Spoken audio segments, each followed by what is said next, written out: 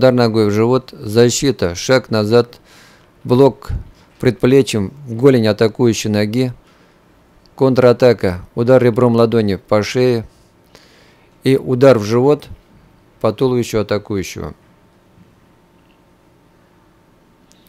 Подготовительные упражнения. Уклон вправо и круговой удар вперед передней частью кулака из боевой разноименной стойки по туловищу предполагаемого противника.